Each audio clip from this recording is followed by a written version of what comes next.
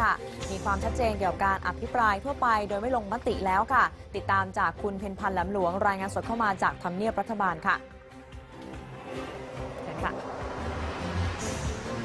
ค่ะคุณนัทอาภาคะนายกรัฐมนตรีนะคะระบุว่าพร้อมที่จะไปชี้แจงการอภิปรายทั่วไป ระหว่างวันที่ 16 ถึงวันที่ 18 กันยายนนี้นะคะ และยืนยันว่าจะไปชี้แจงด้วยตัวเองค่ะ พลเอกประยุทธ์จันโอชานายกรัฐมนตรีและรัฐมนตรีว่าการกระทรวงกลาโหมกล่าวว่า พร้อมที่จะชี้แจงยติอภิปรายทั่วไปประเด็นถวายสัตว์ โดยนายกพร้อมตั้งแต่วันที่ 16ถึง18 กันยายนเป็นต้นไป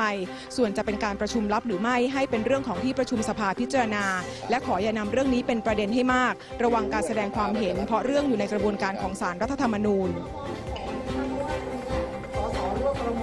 ก็ต้องไปพิจารณาร่วมกันว่าเอ๊ะมันมันต้องรับหรือเปล่าล่ะ ไอ้รับมันผมไม่เห็นมันรับจริงสักทีอะนะมันก็ไอ้คนเข้าไปข้างในมันก็ออกมาพูดข้างนอกทุกครั้งนะไม่มีรับนะแล้วผมก็ต้องระวังการพูดของผม เพราะมันอยู่ในประเด็นของสามนูกำลังพิจารณาอยู่ แล้วผมจะไปชี้นำเขาได้ไงอะเห็นใจผมตรงนี้บางสินะวันนี้งานมันก็เร่งรัดหลายเรื่อง ผมก็ให้ความสำคัญทุกเรื่องนะอย่ามันเป็นประเด็นได้เลยนะวันนี้ประเด็นมันเยอะแล้วล่ะ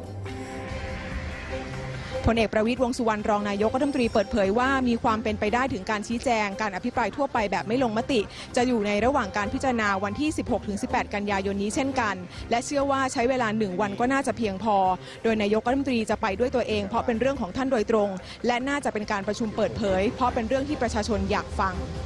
16 หรือ 18 หรือว่า 16สิบหกถึงสิบแปดวงสิบ เจ็ดสิบแปดใช่ก็จะกี่วันนะโอ้เอ้ยโอ้โหวันเดียวก็ตอบเหลือเฟือแล้ว ตรงตรงนี้คือทางให้ทางเอ่อคุณชวนเขาเลือกมาใช่ไหมคะว่าภายในใช่สามใช่ใช่ใช่ก็ต้องคุยกับทางเอ่อสวด้วย ทางสสด้วยนะแล้วรัฐบาลด้วย อย่างไรก็ตามได้รับการยืนยันจากนายสนธิรัตน์สนธิจิรวงศ์รัฐมนตรีว่าการกระทรวงพลังงาน และเลขาธิการพักพลังประชารัฐนะคะว่า มีความเป็นไปได้สูงนะคะว่าจะมีการชี้แจงการอภิปรายในวันดังกล่าวนั้น วันที่ 18 กันยายนนะคะและนายกรัฐมนตรีก็จะไปชี้แจงด้วยตัวเองค่ะ